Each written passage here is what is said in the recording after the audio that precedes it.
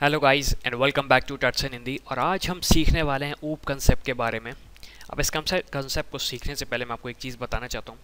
ये कंसेप्ट काफ़ी बदनाम है इंडिया में, जैसे कि मैंने देखा है और सुना है कि काफ़ी सारे लोग बोलते हैं, मुझे ये बिल्कुल समझ में नहीं आता, बिल्कुल समझ में नहीं आता, बिल्कुल समझ में नहीं आता। इसका सबसे बड़ा रीज़न ये है क्योंकि आपने कभी ट्राई नहीं किया। जब आप ट्राई करेंगे तो आपको समझ में आएगा। तो मेरी आपसे रिक्वेस्ट है कि आप इस कंसेप्ट को ट्राई करें, तभी आपको समझ में आने वाला है। इस कंसेप्ट की दूसरी चीज़ इसमें बहुत सारी चीज़ें होती हैं, लेकिन जो सिर्फ़ दो इंपॉर्टेंट होती हैं, हम सिर्फ़ वही पढ़ने वाले हैं। आगे भी हम बहुत सारी चीज़ें पढ़ेंगे। लेकिन जो दो इंपॉर्टेंट चीज़ है, जिसके बिना ये कंसेप्ट बिल्कुल नहीं है, हम सिर्फ़ वही पढ़ने वाले हैं आज के इस वीडियो में। तो चलिए हम स्टार्ट करते हैं सबसे पहले। इसकी फुल फॉर्म जो होता है, ऊप का फुल फॉर्म होता है ऑब्जेक्ट ओरिएंटेड प्रोग्रामिंग इसका मतलब आप जैसे ही समझ सकते हैं ऑब्जेक्ट ओरिएंटेड प्रोग्रामिंग मतलब ऑब्जेक्ट पे ओरिएंटेड है हमारी पूरी प्रोग्रामिंग मैंने इसकी और सिंपल डेफिनेशन लिखी रिवॉल्व अराउंड ऑब्जेक्ट मतलब एक ही चीज़ है कि हम ऑब्जेक्ट पे ओरिएंटेड हैं या फिर हम ऑब्जेक्ट के इर्द गिर्द ही घूमने वाले हैं, हम कहीं और नहीं जाने वाले। तो ये सबसे बड़ी चीज़ है कि ऑब्जेक्ट ओरिएंटेड प्रोग्रामिंग की हम जब भी बात करेंगे तो हम एक ऑब्जेक्ट की बात करेंगे। फिर हमारे पास पहली इंपॉर्टेंट चीज़ इस कंसेप्ट की, वो है क्लास क्लास एक तरीके से हम बोलें तो कलेक्शन ऑफ़ ऑब्जेक्ट्स होता है। अभी के लिए आप सिर्फ़ इतना याद रखिए कि कलेक्शन ऑफ़ ऑब्जेक्ट्स होता है। जब हम ऑब्जेक्ट समझेंगे तो आपको क्लास भी समझ में आ जाएगा। तो एक तरीके से सुपर सेट होता है और कलेक्शन ऑफ़ ऑब्जेक्ट्स होता है जिसकी सिमिलर बिहेवियर से सिमिलर प्रॉपर्टीज़ होती हैं। तो एक तरीके से जैसे हम मान लें कोई भी ऑब्जेक्ट है तो उन ऑब्जेक्ट्स की जो, जैसे कोई पर्टिकुलर ऑब्जेक्ट की कोई पर्टिकुलर प्रॉपर्टी है और वो वैसी ही वैसी दस ऑब्जेक्ट्स की सिमिलर प्रॉपर्टीज़ हैं तो हम उनके कलेक्शन को कहेंगे क्लास फिर हमारे पास एक ऑब्जेक्ट आता है तो जैसे कि हमने एक एग्जांपल लिया था, हमारे पास जो दस ऑब्जेक्ट्स हैं जिनकी सिमिलर प्रॉपर्टीज़ है। अगर उसमें से हम एक ऑब्जेक्ट निकाल लें ऑब्वियसली तो वो एक ऑब्जेक्ट बन जाएगा तो वो जो सिंगल ऑब्जेक्ट है, हम उसे एक ऑब्जेक्ट बोलते हैं। तो हमारा ऑब्जेक्ट पार्ट होता है क्लास का, लेकिन उसकी खुद की प्रॉपर्टीज़ होती हैं, लेकिन वो एक पार्ट होता है क्लास का। तो चलिए अब हम डिटेल्ड एक्सप्लेनेशन में समझते हैं, इसका मतलब क्या हुआ। आप देखिए, एक ह्यूमन बींग एक क्लास है, क्योंकि एक क्लास इसलिए क्योंकि इनकी जो भी हमारे, जो भी ह्यूमन बींग्स हैं, सबकी सिमिलर प्रॉपर्टीज़ हैं। मैंने एग्ज़ाम्पल के लिए gender name age date of birth लेकिन मैं अगर यहाँ पे आपकी बात करता हूँ, आप राइट हैंड साइड पे देखिए तो आपका एक नाम है, आपकी ए एज है, आपकी डेट ऑफ़ बर्थ है और आपका जेंडर है। तो अगर मैं सिर्फ़ आपकी बात करता हूँ तो आप हमारे इस प्रोग्रामिंग कंसेप्ट में ऑब्जेक्ट हुए, लेकिन मैं आप जैसे सारे ह्यूमन बींग्स की बात करता हूँ तो ह्यूमन बींग्स हमारी क्लास होती है। मैं इसे और अच्छे से एक्सप्लेन करना चाहता हूँ। अगर आप, मैंने जैसे आपको पहले बताया था कि अगर हम सारे ऑब्जेक्ट्स जैसे आप हैं आपके बहुत सारे दोस्त हुए। अगर उन सबको हम एक साथ खड़ा कर दें तो हमें एक ह्यूमन बीइंग क्लास बन जाएगी, क्योंकि सबकी एक सिमिलर प्रॉपर्टीज़ हैं।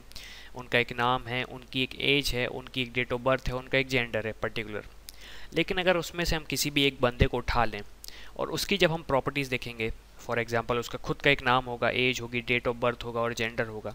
तो उस पर्टिकुलर इंसान को हम बोलेंगे, वो एक तरह पर्टिकुलर इंसान को हम प्रोग्रामिंग कंसेप्ट में बोलेंगे ऑब्जेक्ट लेकिन अगर उसे हम उस सारे झुंड में रख देंगे तो उन सबको मिला के हम क्लास बोलेंगे। तो डिफरेंस बिल्कुल भी नहीं है। क्लास होती है कलेक्शन ऑफ़ ऑब्जेक्ट्स जिनकी सिमिलर प्रॉपर्टीज़ होती है। और उसी क्लास का एक ऑब्जेक्ट जिसकी कुछ प्रॉपर्टी होती है, उस सिंगल पार्ट को हम ऑब्जेक्ट बोलते हैं। तो चलिए अब हम कोड करके देखते हैं, समझ, समझने की कोशिश करते हैं, इसका मतलब क्या होता है। चलिए गाइस तो अब हम क्लासेस के बारे में सीखते हैं क्लास क्या होती है सॉरी क्लास कैसे बनाते हैं और उसका ऑब्जेक्ट कैसे बनाते हैं। तो हम सिर्फ़ इस वीडियो में ये सीखने वाले हैं। इस वीडियो में मैं जो करने वाला हूँ, वो शायद आपको समझ में ना आए, क्योंकि मैं उसे एक्सप्लेन नहीं करने वाला हूँ। हम इसके बारे में जो हम कंसेप्ट आज मतलब एक तरीके से इसके क्लास के अंदर के जो कंसेप्ट होते हैं वो आगे जाके सीखेंगे। क्योंकि हम चा, मैं चाहता हूँ कि मैं धीरे धीरे आगे बढ़ूँ एक बार में आगे ना बढ़ूँ। बहुत सारी चीज़ें होती हैं क्लास के अंदर। तो आज हम सिर्फ़ क्लास को बनाना सीखेंगे और क्लास को कैसे यूज़ करते हैं वो सीखेंगे। तो हम यहाँ पर बनाते हैं। एक तरीके से क्योंकि हम क्लास बना रहे हैं सबसे पहले एक चीज़ मैं आपको बता दूँ। हमने अभी तक जितनी भी कोडिंग करी, हमने क्लास के अंदर ही करी, लेकिन हमने क्लास की तरह उसे कोडिंग नहीं किया, हमने प्रोसीजरल वे में उसे कोड किया। प्रोसीजरल वे मतलब टॉप डाउन अप्रोच लेकिन ऑब्जेक्ट ओरिएंटेड का जो अप्रोच है, वो होता है बॉटम टू अप मतलब नीचे से ऊपर, जो और प्रोसीजरल का होता है ऊपर से नीचे। तो हमने अभी वो प्रोसीजर अपनाया, लेकिन अब हम अपनाने वाले हैं क्लास का प्रोसीजर तो आप देख सकते हैं, मैं चाहूँ तो एक न्यू फ़ाइल में बना सकता हूँ, लेकिन वो मैं बाद में मैं सॉरी अगले वीडियो से बनाने वाला हूँ। मैं इसी फ़ाइल के अंदर करूँगा मतलब क्लास जो आज बताने वाला हूँ, इसी फ़ाइल के अंदर बनाने वाला हूँ, जिसका नाम है प्रोग्राम डॉट सी एस जो आपको ड्रॉप सॉरी आपको जो लिंक मिलेगी उसमें आप देख सकते हैं। अब मैं एक चीज़ आपको बताना चाहता हूँ, अभी मैं जो भी कोड करने वाला हूँ, मैं इस नेम स्पेस के ब्रेसिस के अंदर करने वाला हूँ तो आप प्लीज़ उसे ध्यान दीजिएगा। हो सकता है कि आप उसे मिस कर दें, लेकिन मैं आपको एक चीज़ बताना चाह रहा हूँ कि मैं जो भी कोडिंग करने वाला हूँ, वो इस ब्रेस के ऊपर करने वाला हूँ, इसके आगे आगे नहीं करने वाला हूँ। तो अब हम सबसे पहले क्लास बनाते हैं क्लास ह्यूमन बीइंग हमने एक क्लास बनाई। ये होता है सिंपल क्लास बनाना। आप देख सकते हैं हमारी क्लास बन चुकी है। काफ़ी सिंपल है क्लास बनाना। अब इसके अंदर की जो कोडिंग है वो हम करते हैं। आज के लिए हम सिर्फ़ हेलो वर्ल्ड का प्रोग्राम बना रहे हैं इस क्लास वाला। तो हम एक सिंपल प्रोग्राम बनाएँगे। शायद ये आपको समझ में ना आए मैं क्या कर रहा हूँ, लेकिन नहीं आएगा तो कोई बात नहीं। हम इसे आगे सीखेंगे, होता क्या ये। मैं लिखूँगा public hello world public void मैंने हेलो वर्ल्ड लिखा और मैंने लिखा console dot write line hello from class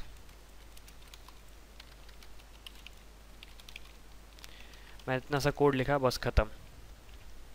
हमारे कोड ख़त्म हो चुके क्लास में जो आज हम करने वाले हैं, हमारा कोड ख़त्म हो चुका। मैं इस क्लास को यूज़ कैसे करूँगा? तो मैं यहाँ पे लिखूँगा ह्यूमन बींग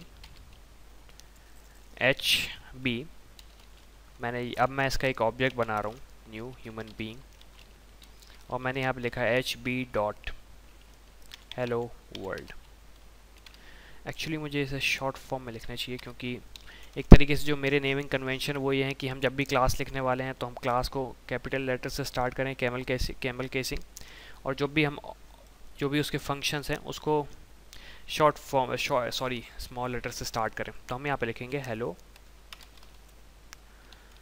हेलो वर्ल्ड हमने इसे कंप्लीट किया। ये हमारा सिर्फ़ क्लास का कोड हुआ। तो आप देख सकते हैं हमने सिर्फ़ आज यहाँ पे ये कोड किया है और एक न, दो नई लाइन लिखी हैं ये। अब इसके बारे में मैं आगे बताऊँगा आपको। इस वीडियो में मैं नहीं बताना चाहता हूँ। अभी मैं सिर्फ़ इस कोड को रन करूँगा। शायद आपको समझ में ना आए क्या हुआ लेकिन कोई बात नहीं हम आगे और जानेंगे। तो मैं इसे रन करने वाला हूँ और आप देख सकते हैं यहाँ पर लिखा आ रहा है hello from class human being तो आप देख सकते हैं हमारा जो कोड है आ, हमारा जो कोड है, हमारा जो कोड है, वो रन हुआ सक्सेसफुली हमने एक क्लास बनाई ह्यूमन बीइंग नाम की, फिर हमने उसके अंदर एक फ़ंक्शन बनाया। क्लासेस में हम फ़ंक्शन को एक तरीके से मेथड बोलते हैं या फिर प्रॉपर्टी बोलते हैं। तो अभी हम आगे जानेंगे।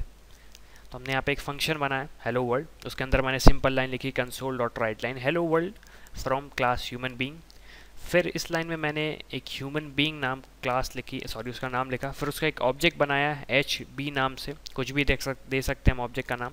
फिर हमने लिखा equals to new human being और फिर हमने लिखा H B dot hello world तो ये सिंपल हमारा स्टार्टिंग फ़ेज़ है क्लासेस का, इसके अंदर हम बहुत सारी चीज़ें सीखने वाले हैं क्लास और ऑब्जेक्ट के बारे में। तो thank you guys for watching and see you in the next video